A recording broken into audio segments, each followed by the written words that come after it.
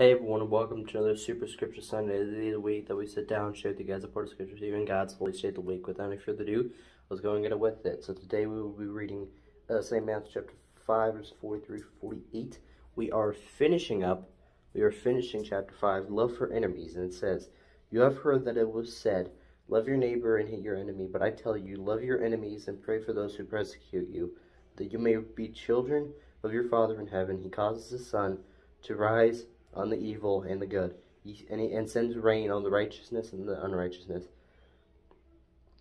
Um, or, or, sorry, the righteous and the unrighteous. If you love those who love you, what reward will you get? Or not even the tax collectors doing that? And if you greet only your own people, what are you doing more than others? Do you, do not even pagans do that?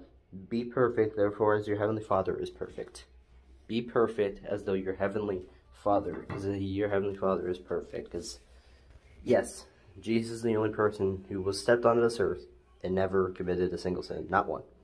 Um, so now I'm going to pray. So if you will join me in prayer, dear God, I ask whoever's listening to this screen that you may have blessed day today. And continue to pray that you every one of us. Just beginning this life is getting harder and harder to live in each and every day.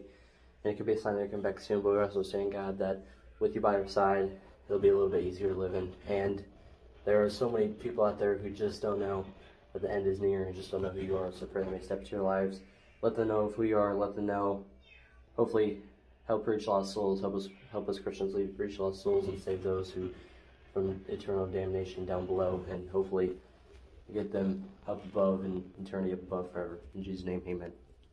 So that's it for Super Scripture Sunday. By the way, if you're wondering I, where I am, I'm in a hotel bathroom right now in Virginia for vacation, and I just got out of the shower. with My hair over this. Anyways, so we'll see you guys next Sunday.